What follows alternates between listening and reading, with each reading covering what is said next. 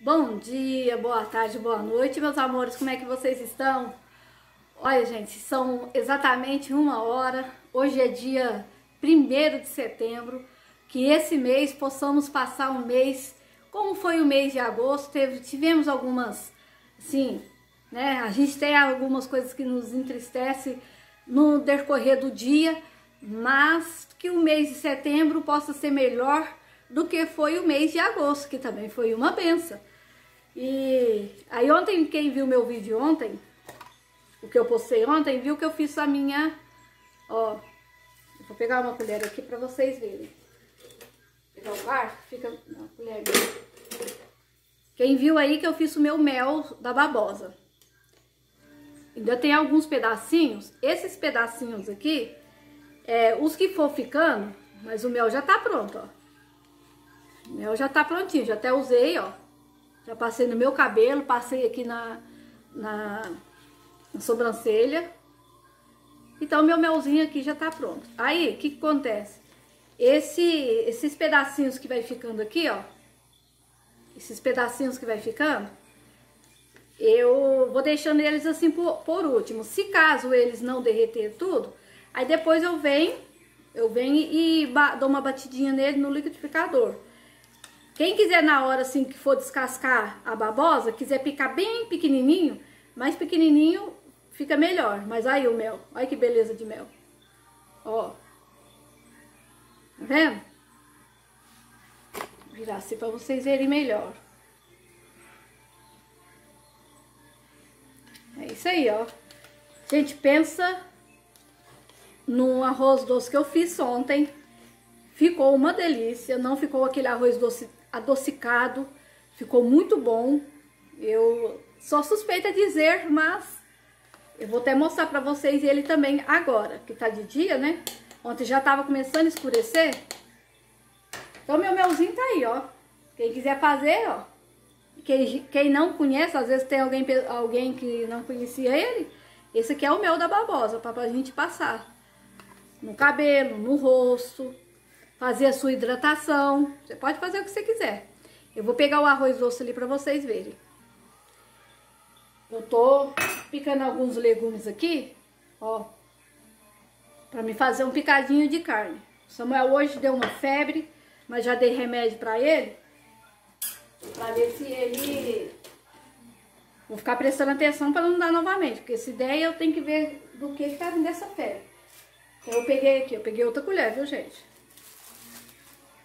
Ó, como é que ele ficou. Eu coloquei aqui nessa Tupperware, mas a tampa dela ficou lá em casa. Aí eu peguei e coloquei esse papel filme. Ó como é que ele tá. Gente, ele tá uma delícia. Aquele sabor, sabor da canela que eu coloquei, quando eu faço ele com uma raspinha de laranja, fica aquele sabor da laranja. Agora aqui ficou com a raspinha, eh, melhor dizendo, eu coloquei uma só canela, tá até aqui, ó. Só coloquei um pauzinho da canela. E tá uma delícia. Eu vou... Não posso provar agora não, porque já tô arrumando o almoço, porque senão... Eu vou provar só esse pouquinho aqui. Gente, ele tá bom demais. Hum. Ele geladinho, gente, vocês não têm noção.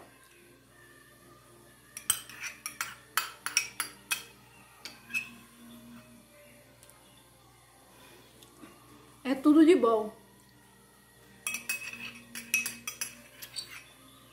E amo o que faço. Até parar, porque senão dá vontade de comer até não querer mais. Então é isso aí, então vamos seguindo comigo.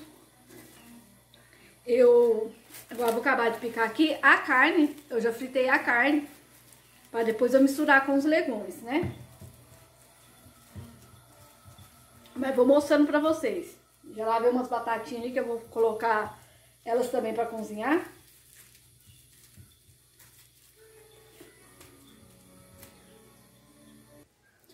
Bom, meus amores, eu adiantei aqui bastante, né, para o vídeo não ficar muito grande, mas eu já fritei a carne, aí a carne tá bem cozidinha, tá molinha. chegar mais pra cá. A carne está bem cozidinha, cozidinha e molinha. E, ó, tá vendo? Ela já tá com um tempero gostoso. Essa carne aqui, ela tá com gostinho assim de churrasco do outro dia. Pra quem aí faz muito churrasco, sabe o que eu tô falando, né? Tá um sabor muito gostoso. Só que ali eu, eu acrescentei, ó, coloquei um pouquinho de azeite. E vou colocar aqui cebola batida com alho. Não precisa pôr muito porque a carne já tá com tempero. Aí a, a batatinha eu ia fazer ela separada, mas eu resolvi e vou colocar no, no, nos picadinhos também. Então aqui, ó, eu vou refogar, ó, a carne com a batata. Como eu tô com pouco legume aqui, aí eu vou fazer com o que eu tenho. Aí eu coloquei aqui, ó, tomate, cenoura, é, pimentão. É o que eu tenho aqui em casa, então vou fazer só com esse. Porque o picadinho pode colocar vários tipos de legumes. O único que eu vou deixar assim, antes de eu finalizar ele, é o pimentão, né? Para o pimentão não cozinhar muito. Eu gosto dele assim, não é aquele cozido desmanchando não, eu gosto dele meio al dente.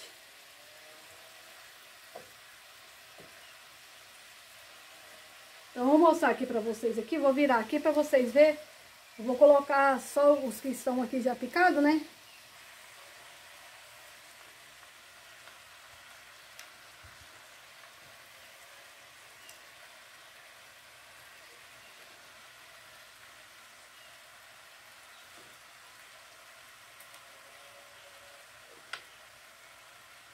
Ainda ficou uma cenoura. Inteira aqui eu não vi.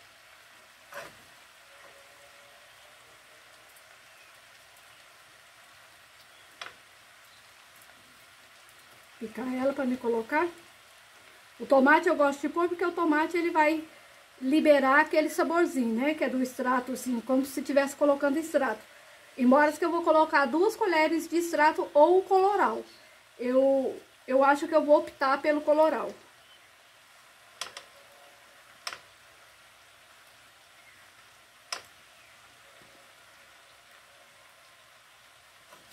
É isso aí, eu vou picar essa cenoura lá que ficou. Tinha visto? Dá uma mexidinha aqui, ó.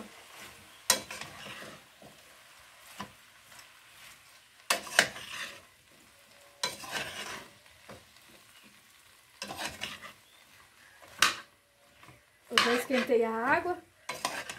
Como a carne já está pronta, para quem quiser fazer o picadinho aí, ser um picadinho mais rápido, Primeiro você faz esse segredo, né? Que é um, é um segredinho que com certeza toda dona de casa faz isso. Mas para aqueles que ainda não sabem, é, tem pessoas que vai fazer a folga, né? Tudo primeiro, para depois esperar a carne. Então, para andar mais rápido, faz primeiro a carne separado, depois você pica ela e já refoga com os legumes, porque a carne já vai estar tá, já vai estar tá cozida. Então aqui agora, depois eu vou colocar mais os outros temperos, que eu vou colocar um pouquinho de orégano. E vou colocar também... Eu vou fazer com, com coloral. Como tem tomate aqui, aí vou fazer com coloral e vou pôr um pouquinho só de leve a pimenta calabresa seca, né? Que eu compro ela seca.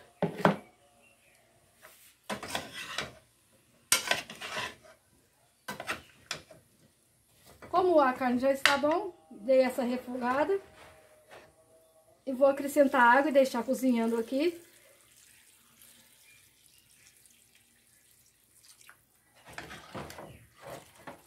Tô feliz, hoje a minha vizinha veio me visitar. Aqui morava perto de mim, aí ela mudou. Ela mudou para mais para frente, que é a Celina. Celina, eu sei que depois você vai ver o vídeo. Um beijo, minha querida. Fiquei muito feliz hoje pela visita dela. Ela ficou aqui amanhã quase toda comigo. Foi muito gratificante o, que ela fez. Tirar esse tempinho para ficar aqui comigo. Então agora aqui, pessoal, eu vou colocar agora aqui o coloral e vou deixar cozinhar para depois eu vir com os outros é, temperinho. Depois eu venho e coloco a pimenta, um pouquinho de orégano e, e o pimentão. Que já tá picado aqui, ó. Picar essa cebola lá, essa cenoura. Aí vou tampar aqui, deixar aí cozinhando. Oi, meus amores, o meu picadinho de carne já está quase pronto.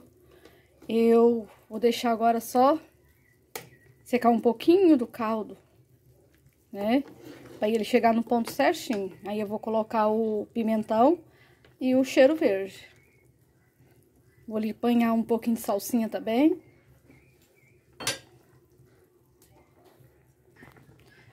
Bom, meus amores, agora eu vou colocar os temperinhos que eu falei pra vocês.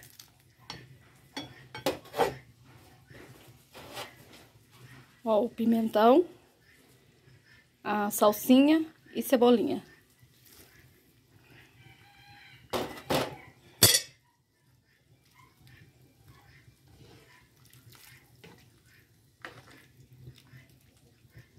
Olha que bonito que ficou.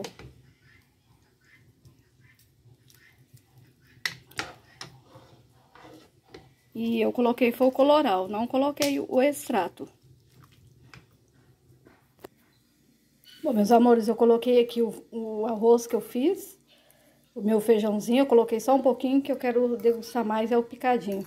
Aí eu deixei um pouquinho de caldo, gente. Ai, como está gostoso, viu?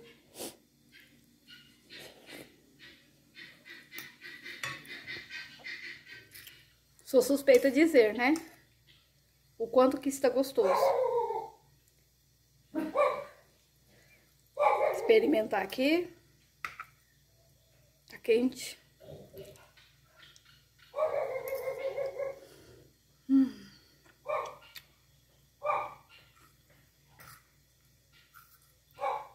Bom demais.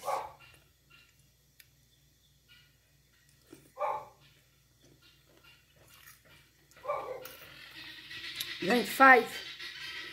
Se tem uma verdurinha ali que tá começando a perder na geladeira, às vezes você não sabe o que, que faz com aquele legume, não joga fora. Faz um picadinho de carne que vocês vão amar, pra quem ainda não fez.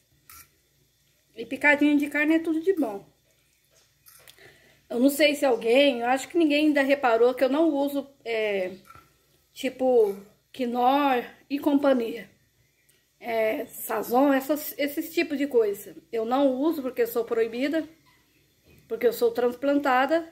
E também falo para vocês, quanto menos usar esses tipos de temperos em sua comida, melhor é para a sua saúde. Eu sempre falo aqui em casa, falo para minhas meninas, falo para minha irmã, não usar esses tipos de produtos, que é quinor é, e, e a família, né? É, Sazon e etc. Então, invitam por, pela sua saúde, para quem é hipertenso, principalmente, e para não dar problemas de diabetes futuramente e outras coisas mais, viu? E desde quando a gente fez o transplante, eu tirei isso da minha lista de compra.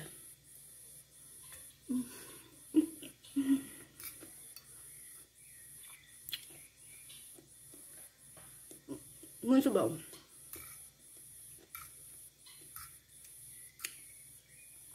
E como sempre eu faço aquela frase minha, eu amo o que faço.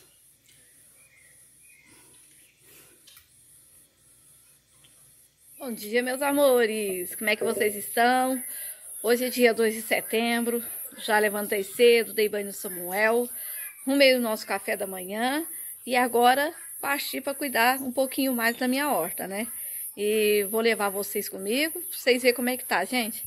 Eu tô meio contrariada. Eu, o meu rabanete, as, as largatas conseguiram é, acabar com um pouco com eles. Mas eu estou assim, tô tentando de todos os jeitos. E agora eu vi uma dica que eu vou colocar em prática, mas só que eu vou ter que comprar porque eu não tenho aqui, né? Eu não faço uso desse, desse negócio em casa, que é o fumo. Eu vi um vídeo que ensinando colocar é, a água do fumo e bater na, na, nas plantações. E eu vou fazer isso. Só que para isso eu tenho que ir na cidade e eu pedi alguém para trazer esse fumo para mim.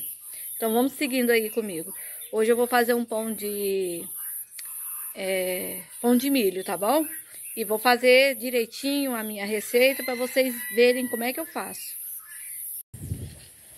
Aí, meus amores, meu rabanete como é que tá? Detonado. Não sei se é porque eu bati remédio demais, que eu pus... É, eu coloquei vinagre e coloquei detergente. Não sei se foi que passou da medida. Sei que quer é não, mas o que o pouquinho que tá sobrando, ó, tadinho. Comprar mais para me ensamear de novo. Difícil. Aí. Vamos ver se o pouquinho que sobrar aí vai, vai escapar. Ai, a gente fica um pouquinho triste de ver assim, a gente lutar com as coisas. Porque não tem coisa melhor do que você ter uma hortaliça tudo orgânico, né? Mas agora eu vou tentar com, com esse negócio do fumo para essas largatas não, não, não vir mais ali na minha horta.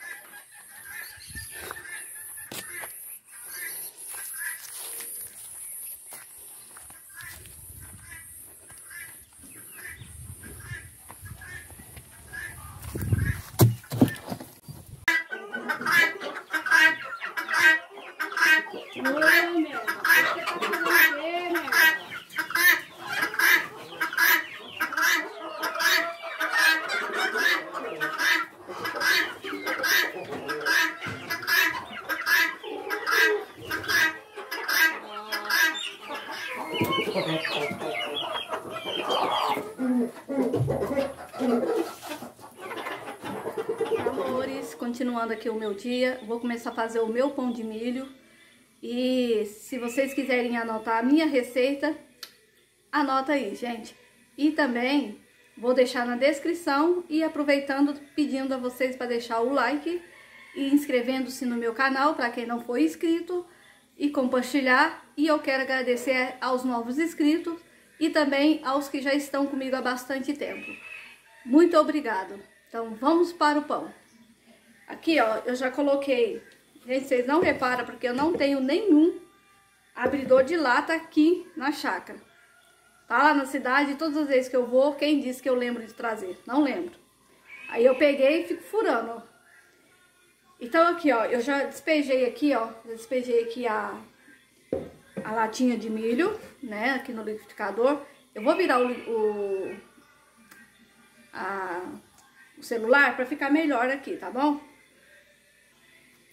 Então aqui, gente, como eu coloquei uma lata de milho aqui, eu vou colocar a mesma medida da lata, uma água morna. A mesma medida da lata, coloquei de água morna. Vou colocar também um tabletinho, esse aqui é tablete de 30 gramas. Mas você pode usar o fermento que vocês gostam, porque vocês veem aí que eu uso vários tipos de fermento. E, e pode usar aqueles do saquinho, do saquinho vocês vão colocar duas, dois saquinhos. Que cada saquinho são, são 10 gramas. Então, vocês vão colocar 20 gramas de fermento. E os ovos, esses ovos aqui é ovos de galizé. Aí, como eles são pequenos, eu vou colocar 5. Mas se você tiver um ovo grande, coloca 3 ovos grandes.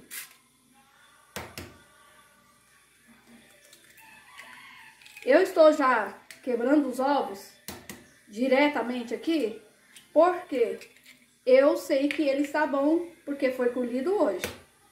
Porque se tivesse assim já alguns dias guardado, é óbvio que eu ia quebrar na latinha para depois eu despejar aqui.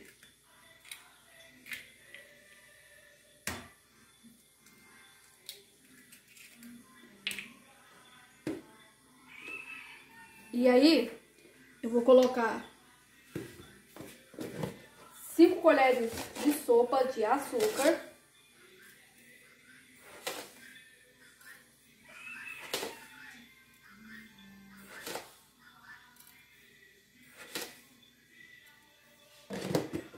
Cinco colheres de sopa de açúcar.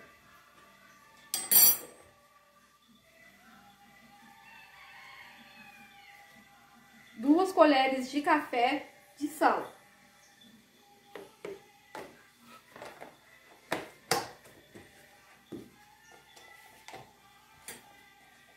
Duas colheres cheias de manteiga ou margarina.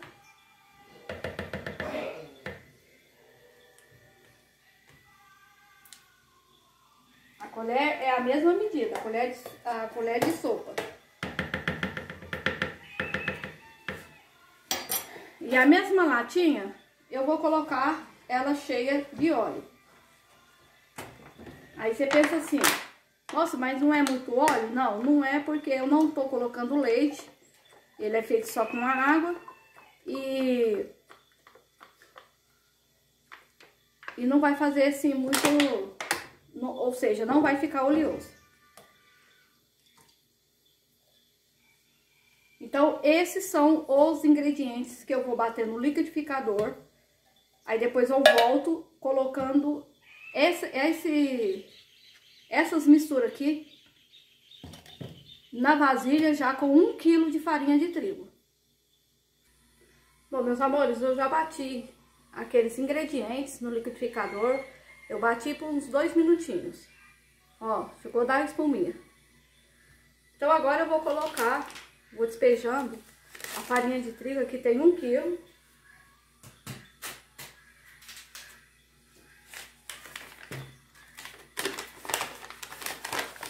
Vou peneirar ela também.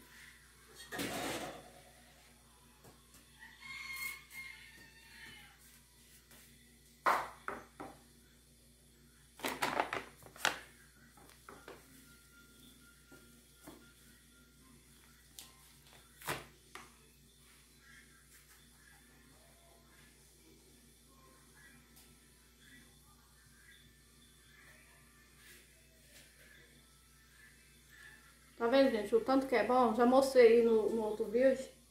Nos outros vídeos, né? Gente mineral. Sempre tem uma coisinha. Isso, tá vendo?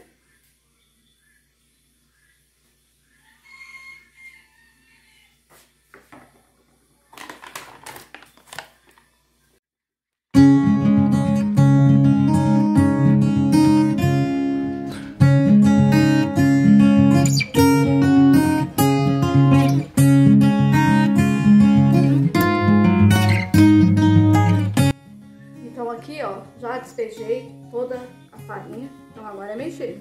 Minha mão já está lavada.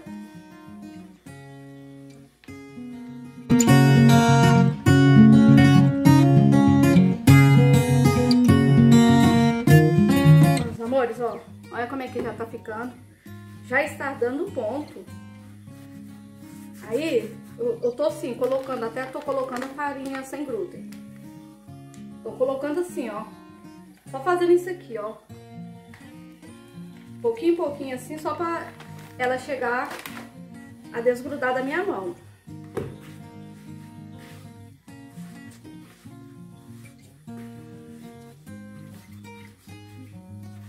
Gente, eu amo fazer pão. Eu amo fazer pão.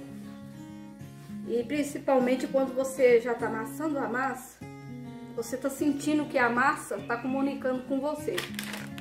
Quem aí é, faz quitanda sabe do que eu estou falando. Quem é acostumado a fazer, você já sente na mão que a farinha, que os ingredientes, que a massa está comunicando com você que está ficando ok.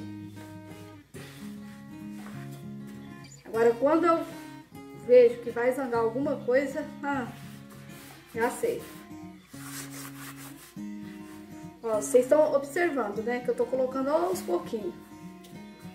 Só pra ela dar o ponto.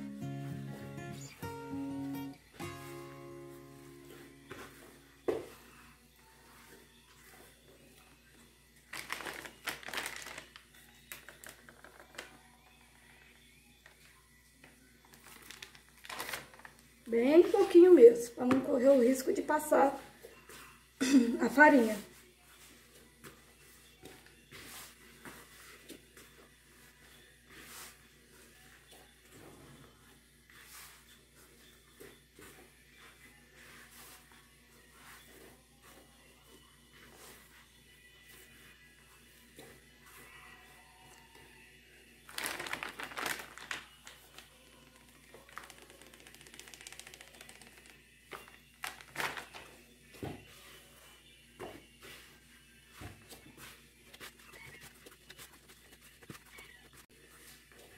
Gente, a farinha já desgrudou da minha mão. Deixa eu tirar isso aqui pra vocês verem. Ó.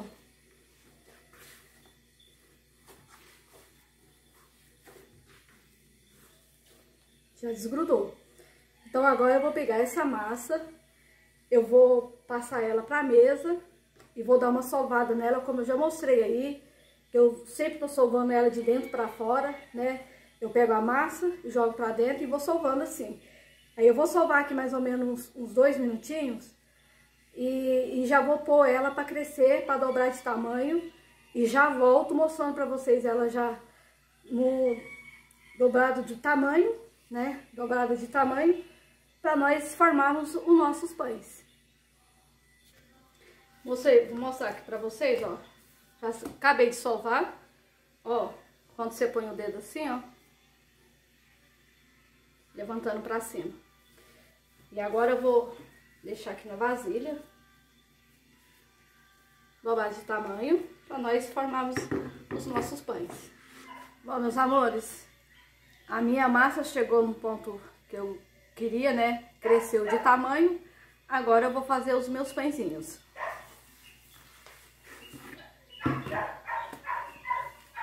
Eu vou fazer dois aqui, ó mostrar pra vocês como é que eu faço, ó. Eu pego aqui, ó. Aperto aqui, ó, pra sair a bolinha.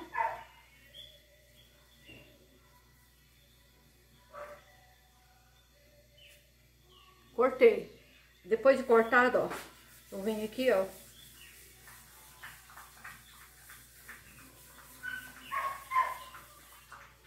Tá aí os, os pãezinhos. Então eu vou fazer todos depois mostro pra vocês.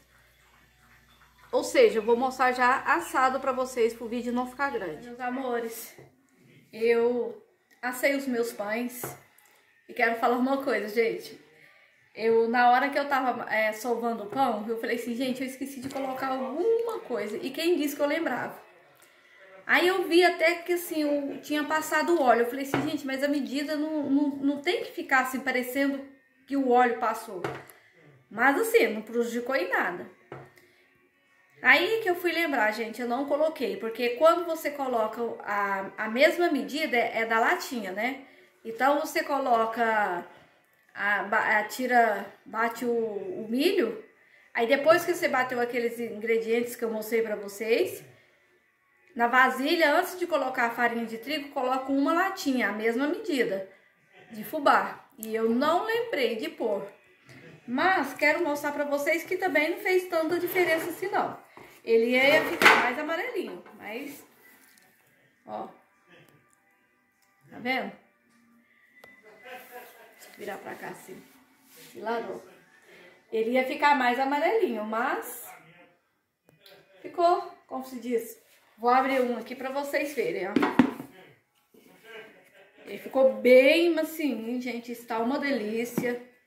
Ficou parecendo aquele pão, pão de milho de padaria mesmo. Só que assim, sem o fubá. Mas o milho já fez o, o, o resultado sozinho. Aí. Chegar mais pra cá aqui. O milho já fez o, o resultado, ó. Olha a maciez dele. Ó. Macinho mesmo. Então assim, ó. É tudo de bom. Eu acabei de jantar agora.